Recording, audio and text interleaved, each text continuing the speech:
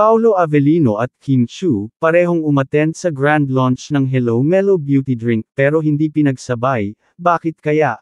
Panuurin dito ang buong detalye.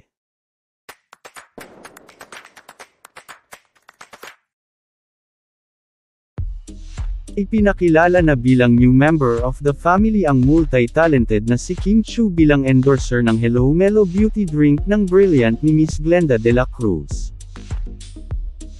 Kagabi naganap ang pag-welcome sa aktres kasabay ng contract signing niya bilang isang ganap ng Brilliant.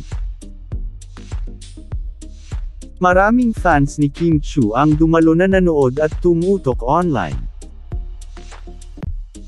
Ngunit tila hindi satisfied ang mga fans dahil hindi nagkasabay na lumabas ng stage sina Kim Chu at Paulo Avellino at hindi nagkasama on stage ang dalawa.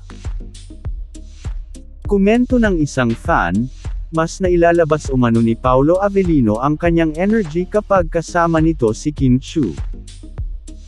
Mas may energy and power si Pao when keen si around and holding his hand.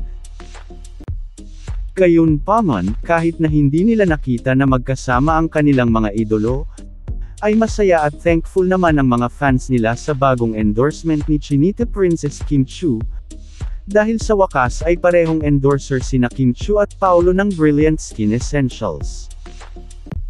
Bagay na bagay kay Kim yung product na kinukuha talaga siya ng ambassador ang galing mo pumili Miss Glenda. Mas love na love na kita Miss Glenda dahil kinuha mo endorser si My Love Kim Chu both beautiful inside and out.